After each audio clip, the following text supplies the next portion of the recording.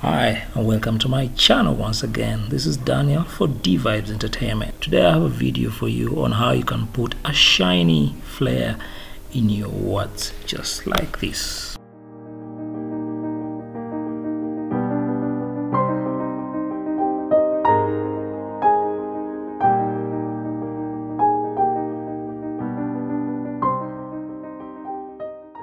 Okay, and straight on we shall begin. It's very simple. The first step we shall be doing, we go to title and we create our title. Of course, you go to default style and we shall create our title.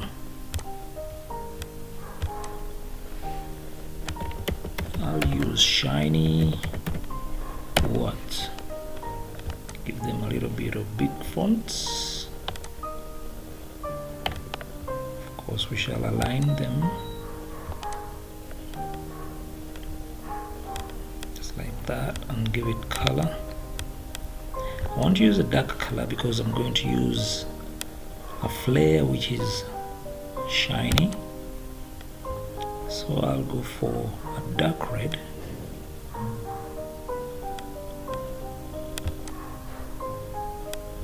And we'll create a new sequence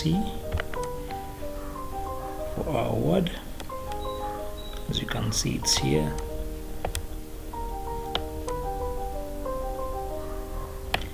the timeline. The next step I want to do is I'll go to effects and look for lens flare.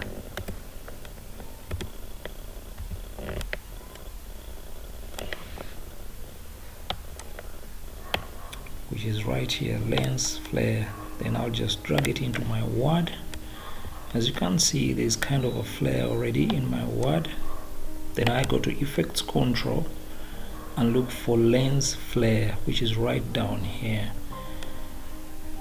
So when I get here I'll just press on the lens flare itself and then come and drag this just here at the beginning.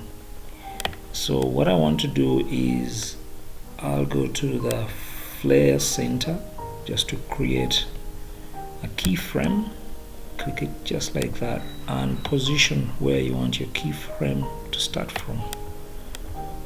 And then create my keyframe and then determine where I want my key my flare to stop.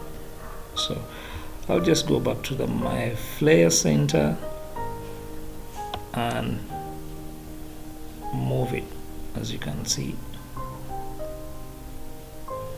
so that's it. We have our shiny words so get those words shining. If you're watching this video very first time please just subscribe on my channel and click on the bell. You can also give me a comment in the comment section if you have a question if you have a view or if you have any other video you want me to do. Well that is it for me. Just look out for another video from me. Bye bye